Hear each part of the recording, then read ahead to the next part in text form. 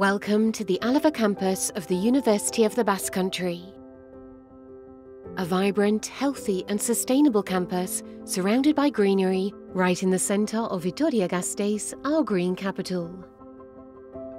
The Alava campus is home to seven faculties or schools, two research centres and three buildings that serve a university community of over 8,000 people, including students, teaching and research staff, as well as administrative and service staff.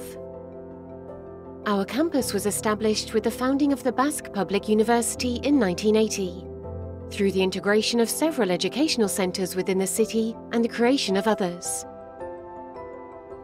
The first building, the former School of Experts and the current School of Engineering, dates back to 1961.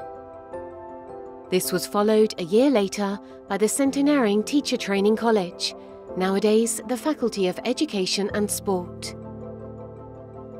In 1994, the Faculty of Pharmacy moved from the old Alava University College to the current building on Paseo de la Universidad, where the Faculty of Arts is located since its transfer from the Great Hall in 1987.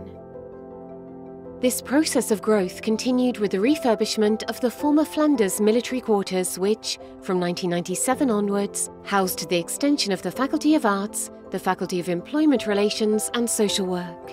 It also accommodates the University Pavilion, with its canteen, cafeteria, multi-purpose room and bookshop. Here, you will also find the headquarters of the Vice-Chancellery of campus, welcoming us into its entrance. The building of the former military hospital was refurbished in 2002 as the Faculty of Economics and Business. And nearby you will come across Thomas Alfaro Fournier Residence Hall. In 2009, the Lascaray Research Centre was founded, which houses excellent research groups in biosciences.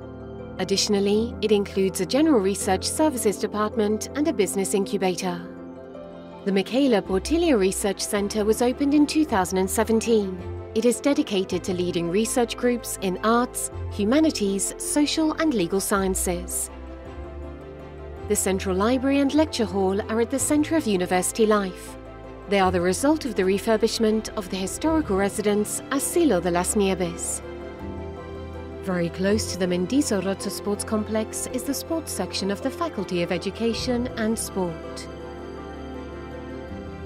The campus finally concludes with the teaching unit of the Faculty of Medicine and Nursing in the Alava University Hospital.